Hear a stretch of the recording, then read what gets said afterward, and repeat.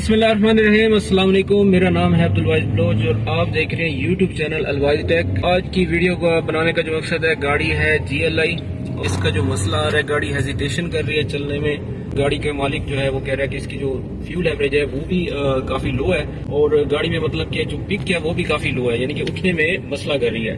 तो आइए आज की वीडियो जो है शुरू करते हैं। तो इसकी ट्यूनिंग सर्विस भी नहीं हुई पहले सबसे पहले जो है इसकी ट्यूनिंग सर्विस करते हैं। और इसका जो कैटलेटिक कन्वर्टर है वो आज तक साफ़ नहीं हुआ। और गाड़ी गाड़ी कितना चल गई है? चालीस हज़ार। चालीस हज़ार चल गई है और अभी तक इसका जो कैटलेटिक कन्वर्टर है वो साफ़ नहीं हुआ। तो आज इसका जो है कैटलेटिक कन्वर्टर भी वॉश करेंगे।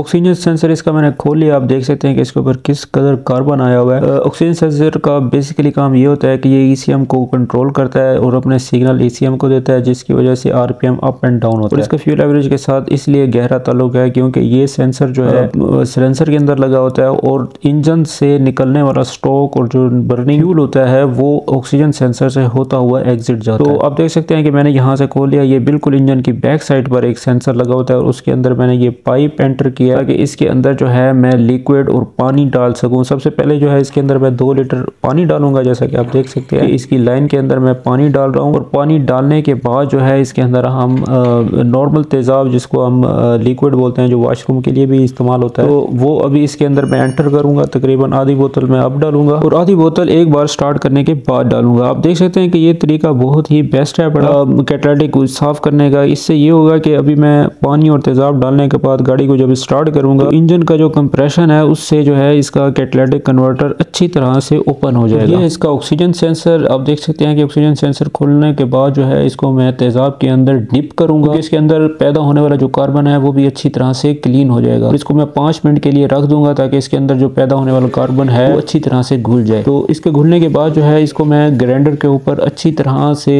बफ लगाऊँगा। बफ से ये होगा कि जो थोड़ा हुआ, जमा हुआ भी कार्बन जो होगा, वो भी अच्छी तरह से क्लीन हो जाएगा। आप देख सकते हैं कि ये पहले जो सेंसर की हालत थी वो क्या थी और अब जो सेंसर वॉश हो गया, उसके बाद इसकी क्या हालत है?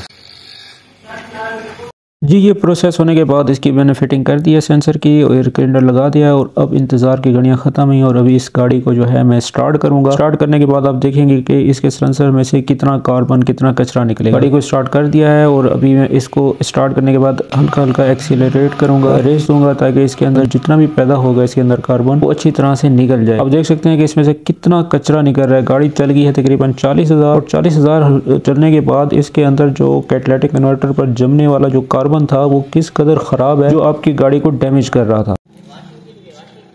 कैटलेटिक कन्वर्टर की सफ़ाई हो चुकी है। अब हम आ जाते हैं स्पार्क प्लग की तरफ़। स्पार्क प्लग इसलिए मैं बाद में खोल रहा हूँ क्योंकि इसके अंदर जो जितना भी कचरा था वो दोबारा स्पार्क प्लग क्लीन करने के बाद दोबारा उसके ऊपर ना बैठ जाए। चले अभी जो है स्पार्क प्लग बाहर निकाल कर उसको मैं बफ लगाऊँगा। इस काम तो साथ साथ चलता ही रहेगा। अगर आप मेरी वीडियो पहली मरतबा देख रहे हैं तो आपसे गुजारिश है कि मेरे चैनल को सब्सक्राइब कीजिएगा और वीडियो पसंद आ रही है तो इसको लाइक करें क्योंकि ये जो वीडियोज़ हैं बहुत ही मेहनत से बनाई जाती हैं। स्पार्क प्लग को आप कम से कम दस से पंद्रह हज़ार के बाद लाजमी वॉश कराया करें क्योंकि हमारे जो पाकिस्तान में फ्यूल है, वो एक नंबर नहीं होता। ना ही वो इतना साफ़ होता है कि आपके स्पार्क प्लग और अंदर जो है इंजन को अच्छी तरह से साफ़ कर सके। क्योंकि जब भी फ्यूल बर्न होता है तो इंजन के अंदर एक मखसूस किस्म का कार्बन जनरेट होता है, जिसको वॉश करना बहुत ज़रूरी है। देख सकते हैं कि अभी इसकी क्या हालत है और पहले इस प्लग की क्या हालत थी।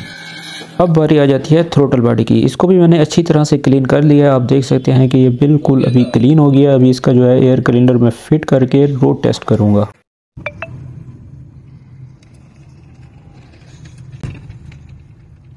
जी दोस्तों इसका जो गाड़ी का काम है वो क्लियर हो गया है। अभी हम जो है रोड टेस्ट पर है।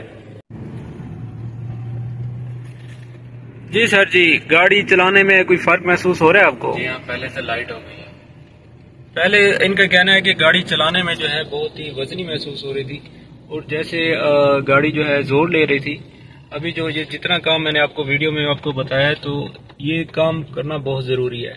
तो इसकी जो ट्यूनिंग है वो जर्नल की है, एक होती है हाफ़ ट्यूनिंग हाफ़ ट्यूनिंग में जो है वो कैटलाइटिक कन्वर्टर वॉश नहीं किया जाता, लेकिन इसमें हमने कैटलेटिक कन्वर्टर भी वॉश किया है। उम्मीद करता हूँ मेरी आज की वीडियो आपको पसंद ही आएगी अगर आप मेरे काम से मुतमिन हैं तो आप मेरे वर्कशॉप में विज़िट कर सकते हैं। मेरा ताल्लुक भावलपुर से है और जो मेरी लोकेशन है, वो दुबई चौक मैंने अपना नंबर भी डिस्क्रिप्शन में मेंशन कर दिया है। अगर आप चाहें तो आप मुझसे रब्ता कर सकते हैं। मिलते हैं नेक्स्ट वीडियो पे। अच्छी अच्छी वीडियोज़ देखने के लिए मेरे चैनल को सब्सक्राइब करें और बेल आइकन को ज़रूर प्रेस करें ताकि मेरी यार आने वाली नई वीडियो आपको तक आसानी पहुँच सके। मिलते हैं नेक्स्ट वीडियो पर अपना ख्याल रखेगा अल्लाह हाफिज़।